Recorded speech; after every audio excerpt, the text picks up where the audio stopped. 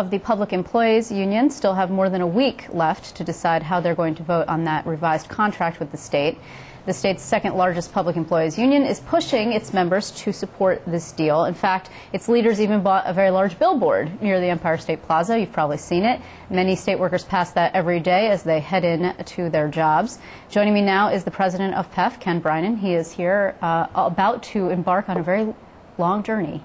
Glad to be back here. I appreciate it.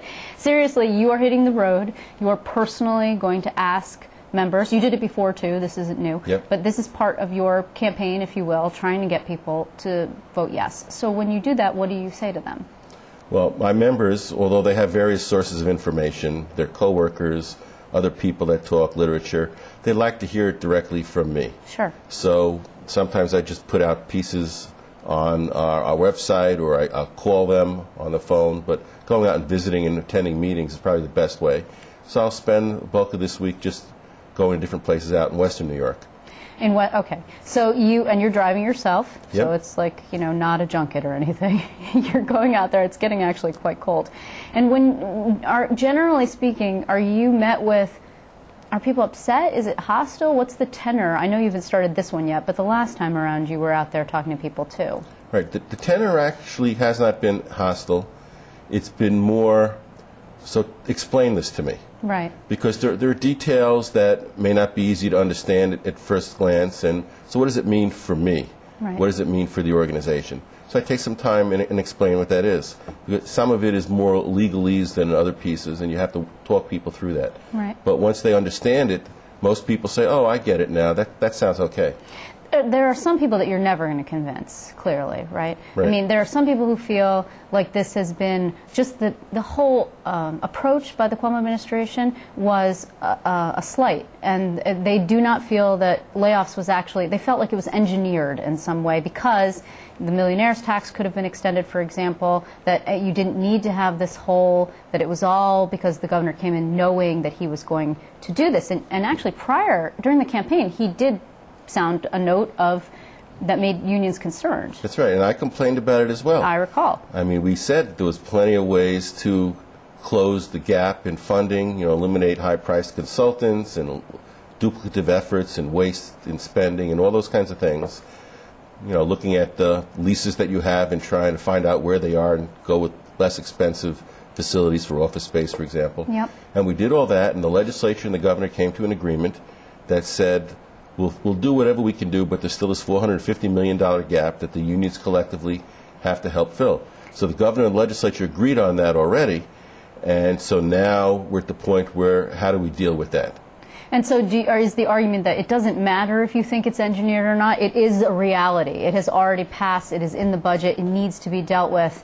It's just, it's just real. There's That- nothing. You, that- the way that- that it got there is not the point. That's correct. Right. And but knowing what those arguments are, knowing that going forward we'll still support extending the millionaires tax, we'll still support these other efforts that we've been doing, and we'll be doing that next year and the year after that. But that is the ongoing fight. What happens right now is we're faced with a particular economic situation. We're faced with a hole in the budget, and the governor has said we'll either get it from the unions through negotiations or we'll have to lay people off. So we negotiated the best deal we could get, and now it's time to bite the bullet and say this is okay for now. We'll save our 3,496 members, Right. and then we'll go back and we'll again deal with the legislature and the governor on the next budget. And you'll go back in four years, not five, unlike CSEA, for example. That's one of the changes. A, a fairly correct. significant change, actually. Yep, our people said that the economy should be getting better a little sooner than five years. So why do we need a five-year agreement? Have a little shorter agreement. Hope that the times are better, and we'll go back and we'll be the first one to bat in negotiations, and maybe we can lead the way and get something better. What, what do you say to folks who say our hand is actually strengthened as labor writ large and also as a powerhouse by just saying to the governor, you know, here's to you? In other words, we reject it again, we vote no, and then we demonstrate how powerful we are.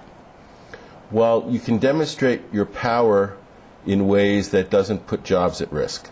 I've seen many instances where unions steadfastly refused to go along with anything that, that they didn't like, and the companies went out of business. Mm-hmm. And so you proved your point, but now you're all unemployed. So it was proving that point worth it.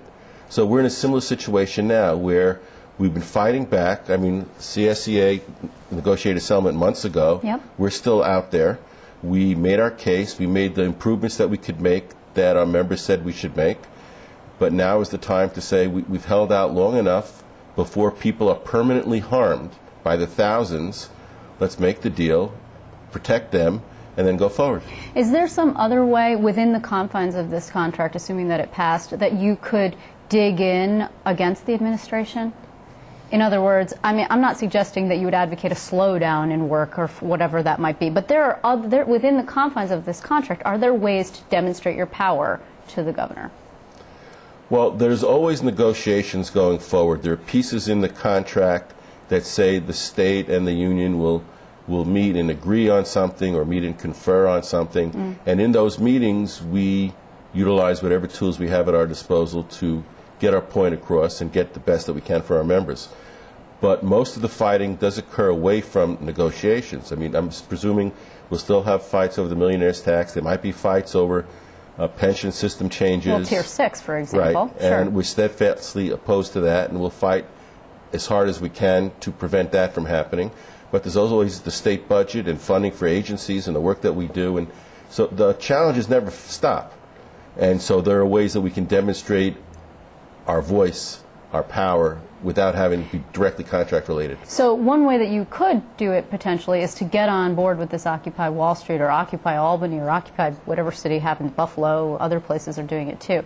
What is your plan for that? I know that there's going to be some solidarity marches in Albany uh, coming up on Thursday, I think, and it's it's in conjunction with the millionaires tax push. What the governor at this point is saying, at the federal level, great. At the state level, no, it doesn't make any sense to us. Right, and we, we completely disagree with that. So might you get on board then with this? We are advertising the event and any other events that are occurring around the state, and we are telling our people if you want to participate, you can. Mm. But at the moment, as an organization, we're not jumping in with both feet because we're still dealing with the contract stuff. Right. And we'd rather just settle that first and then move on to the next issue. Is it so? It's just the contract, and not. There's been some concern voiced, not by labor leaders so much, but some people in the Democratic Party who are a little bit keeping at arm's length with the governor himself, for example. He's not exactly out there rallying with anybody because of the lack of message for for this movement. Well, I haven't been made aware of leaders per Right. se. There are different organizations that are, are buying in and participating, but there, it's not a real movement where you have a leader and a structure. It's more um, a, just a group of like-minded people that seem to get together. Do you need a leader, though? I mean, that's it is the traditional labor structure that, for example, you and your labor negotiation, contract negotiation team negotiate with the governor, who puts up some other folks, and you sit at a table and make a decision, and then you, you get a result because there were people at the table. But do you have to? Maybe we're moving into some new era where you don't need a leader. to to get more people involved and to have it the group move in a certain direction, you do need some leadership. Mm. You can't just leave it up to whoever shows up at that particular time and place, and whatever happens happens. That's one of the problems that the Tea Party has had is that there wasn't really a full organization there. It was more groups of people, and so whether you agree with them or don't, they're sort of foundering a little bit in terms of where are we going, and this organization is sort of in the same place. So they need to co- coalesce better